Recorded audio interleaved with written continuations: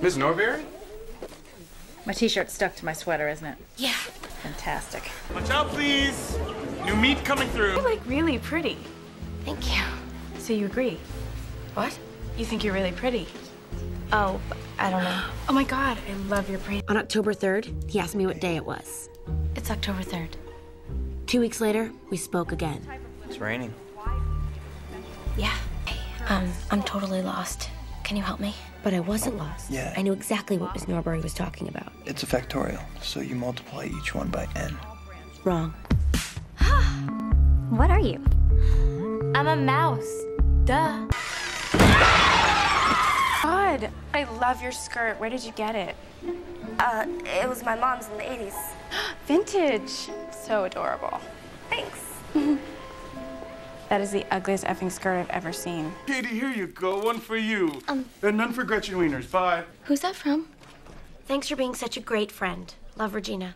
That's so sweet. Mom, can, can you pick me up? I'm scared. The girls have gone wild. On there. Whoa! Hell no! I did not leave the South Side for this. Go out. I'm sick. Boo, you whore. Santa's Helpers doing Jingle Bell Rock.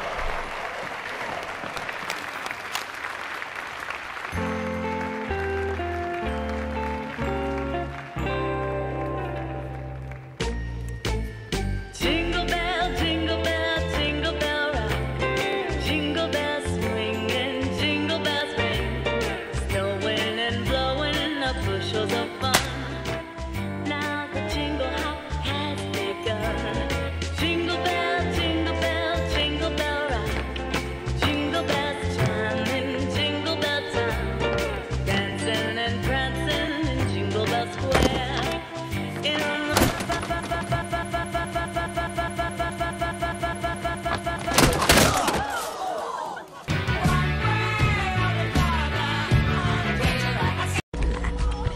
She's the queen bee, the star. Those other two are just her little workers.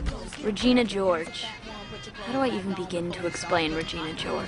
Regina George is flawless. She has two Fendi purses and a silver Lexus. I hear her hair's insured for $10,000. I hear she does car commercials in Japan. Her favorite movie is Varsity Blues. One time she met John Stamos on a plane. And he told her she was pretty. One time, she punched me in the face. It was awesome.